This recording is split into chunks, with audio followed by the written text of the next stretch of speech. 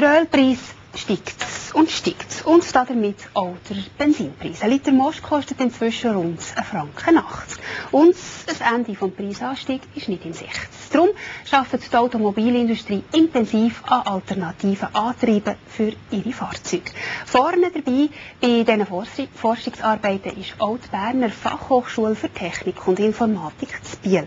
Die setzt auf Brennstoffzellen, die vielleicht schon gleich als Mini-Kraftwerk in elektrisch betriebenen Autos eingesetzt werden können. Der Ralf Heiniger berichtet. Autofahren ganz ohne Benzin und auch ohne Abgas. Die Idee ist nicht mehr Science Fiction, sondern wird immer wie konkreter. Ein wichtiger Meilenstein auf diesem Weg ist ein Brennstoffzellen im Anhänger von dem Smart. Entwickelt wurde ist ja der Fachhochschule zu Biel.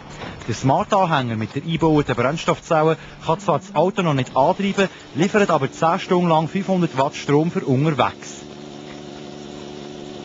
Der Anhänger wird für mobile Anwendungen verwendet. Dort hat man meistens nicht unbedingt eine Steckdose in der Nähe. Darum hat man eine Lösung gesucht mit der autonomen Stromversorgung. Und da Brennstoffzellen äh, Zukunftstechnologie ist, haben wir das zusammen mit der Berner Fachhochschule entwickelt und in diesem Anhänger eingebaut. In der Funktionsweise unterscheidet sich die Brennstoffzelle nicht von den anderen. Aus Wasserstoff wird über verschiedene Stationen Strom gewonnen. Mit dem Strom kann man Laptops oder auch Kühlschränke betreiben.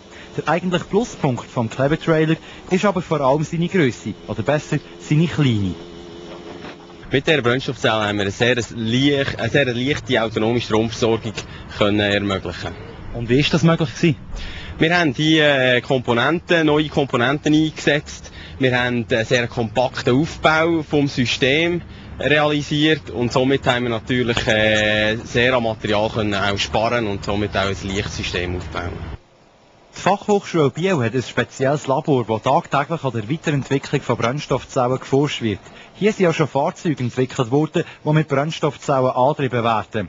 Auf einen bezahlbaren elektrischen Personenwagen, der das eigene Brennstoffzellenkraftwerk mit sich führt, wird man aber noch ein bisschen warten.